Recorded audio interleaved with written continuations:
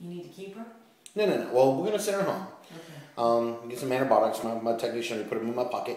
I'll explain that in a second. But anyway, this beautiful baby here, if you're able to see, has a very, very large dilatated colon area.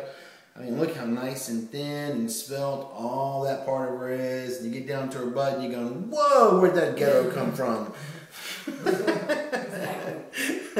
away at, at MSU and I didn't even notice it.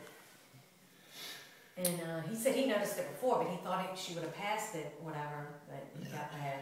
What happens is the back, the, the body is responding to the bacteria, which makes all the mucous membranes in there get swollen and thick, which makes her whole butt get swollen. And then, not to mention that, but sometimes the nerve toxins that are being produced by these bacteria, okay, will also cause, you know, a constipation or the, the intestines not to move so easily.